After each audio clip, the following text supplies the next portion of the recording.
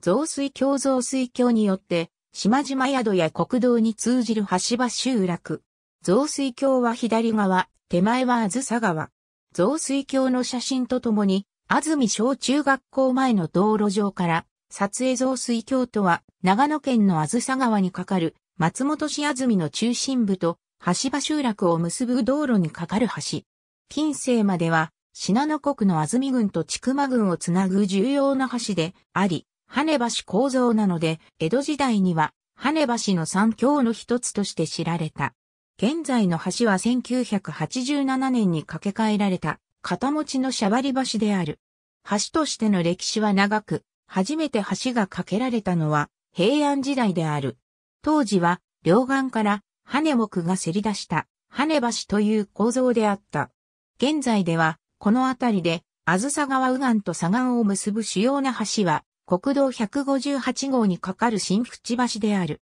しかし、新淵橋が通年使用できるようになったのは1870年からであり、それまでは冬の渇水期にしか通行できなかった。そのため1870年以前のこの界隈では、増水橋が橋を使って通年対岸に渡ることのできる唯一の手段であった。あずさ川はこの橋の下流約50メートルで、黒川という小河川を合流させ、また下流約400メートルで、島々、谷川を合流させて、流れを北向きから東向きに変える。古い資料では、雑誌、雑食、増子、雑誌などと書かれている。故障としては、増子橋、増子の橋だった。1834年の信濃気象録や、1843年の善光寺同盟書税では、雑食橋と記され、記録の中で最も多いのは雑子橋である。1911年に従来の羽橋から木枠の吊り橋に架け替えられた際に、伝承と何百年間も続けてきた掛け替えの時に男女二体の人形を美濃田の先端につけて渡すのを行事としてきたことに鑑み、増水橋の名称に統一した。平安時代の架橋以降、両爪が天然の高い岩盤である上に、羽橋構造であることからどんな洪水にも流されることはなく、通年の使用が可能な数少ない橋であった。このため、早くから松本藩直轄の橋として管理され、松本盆地の南北をつなぐ交通に大きな役割を果たした。松本大町間の往来がこの橋まで迂回した記録がある。信濃気象録に次の記述がある。あずさ川派平日派さばかりの水にも荒らされとりうに、は水かさ増えるゆえに橋を貸すところなしにり降りて、母しゆうといえとも、少しの水にも落ちるゆえにこの橋なくして、初路人片吉なり、長和村市に次の記述がある。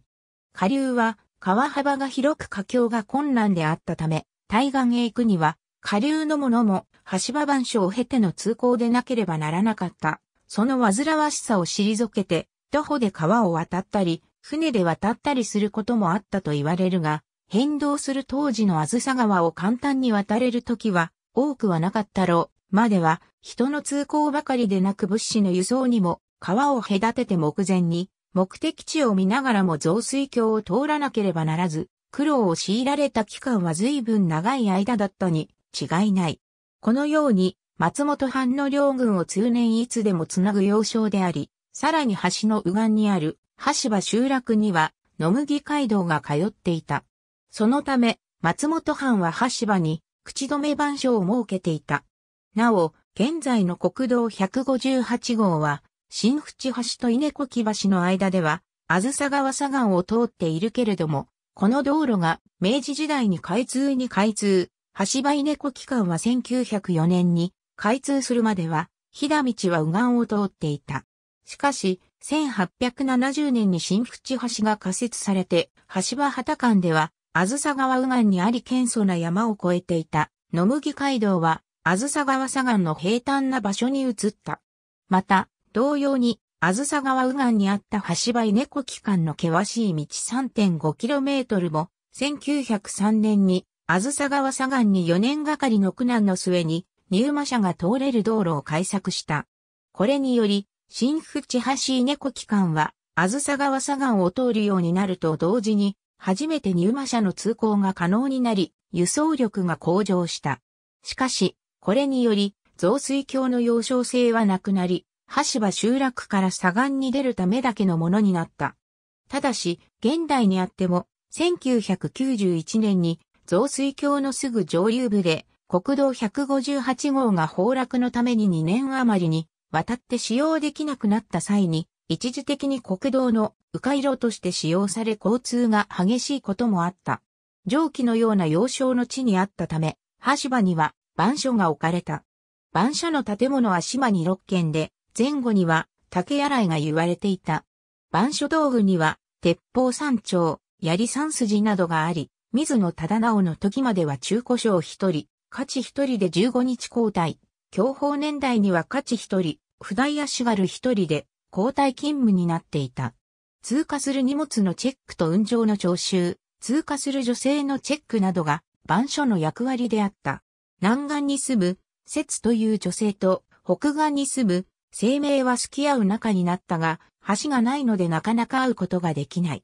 雑炊を食べて節約し、貯めたお金で橋を架けたという伝承がある。この伝承から、江戸時代には、北は生命、南は節の男女の人形が、両岸から差し出された巨木の先端に取り付けられ、いずれも綺麗な装束をつけて対岸に渡るという行事が行われて、近在近号の一大イベントになった。実編者19は、この伝承を取材して、草食橋由来という営利層資本の中に取り入れたに、出版。男女の名前や伝説の内容は時代によって異なる。乗倉竹六湯の里白骨は、お節と清兵衛である。詳細は三本松トンネルを参照1991年10月18日朝、国道158号の猿なぎと呼ばれる地点で大規模な崩落が相次いで起こり、国道は通行不能になった。崩落には予兆があったので、工事関係者が通行止めをしており、巻き込まれた車両はなかった。通行不能になった国道の大帯道としては、まず、増水橋で右岸に出て、林道を一方通行で経由し、稲子木に出る経路が使われた。しかし、この経路は、本来なら5分ほどのところを最低でも40分以上かかり、しかも通行危険な箇所があった。そこで、あずさ川の川床を仮道路にして不便をしのぐ。この期間には、迂回道路を通るために書くことのできない橋として、増水橋が用いられた。その後は、崩落現場近くに仮の橋を架けて対応した。崩落現場の岩盤は軟弱だったので、三本松トンネルが建設されることになる。三本松トンネルの工事開始は1992年、長さ370メートルのトンネルが完成したのは1994年2月24日であった。ありがとうございます。